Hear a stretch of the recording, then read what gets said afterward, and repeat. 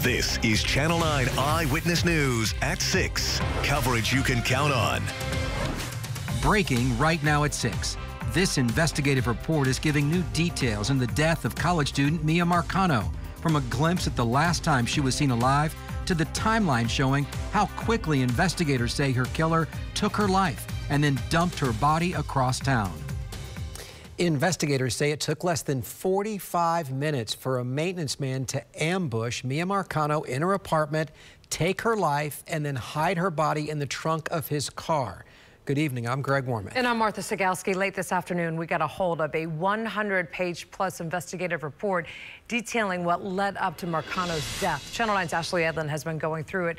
She joins us live right now with more. Ash. Well, Martha, the investigative report here in my hand is graphic. It tells the story of Armando Caballero leaving the complex after the ambush, doubling back and circling around on a golf cart at one point. He even used her key fob to pretend like he was Miya, trying to get into her apartment. This is 19 year old Miya Marcano leaving work at the Arden Villas apartment complex in September of 2021, captured by a security camera at 5 p.m. the day she disappeared. Steps away at her apartment on the property, maintenance man Armando Caballero was waiting inside.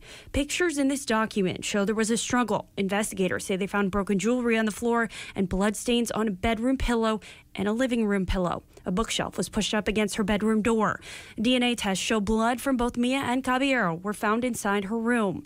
Investigators concluded that by 5:50, Caballero had killed her and taken her body out through her bedroom window. This map of his cell phone records show Armando left the complex, went to his own home, then came back, and is seen here on a golf cart at the complex circling around.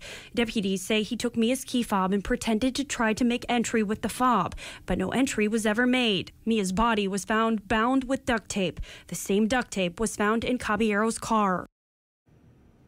Now, friends and family investigators talked to throughout the investigative report say the relationship between Caballero and Miya started off flirty, but when she didn't want anything further from him, he became obsessive and overly emotional, as they called it. Gave her gifts like $600 in cash. Those family and friends say she tried to tell him no, but he wouldn't back off.